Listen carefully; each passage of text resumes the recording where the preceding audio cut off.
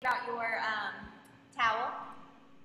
I know if you're in block, um, I think I saw Brooke. Yeah, if you could grab a hand towel really fast, we're going to be using it for our workout today, okay? Perfect. Y'all are so good. Um, all right, it looks like everybody has it. So we are going to be focusing on our upper body for that nice port de bras strength. Um, okay, so let's go ahead and we're going to do a warm up and then we have a few circuits we're going to run through. Okay, here we go.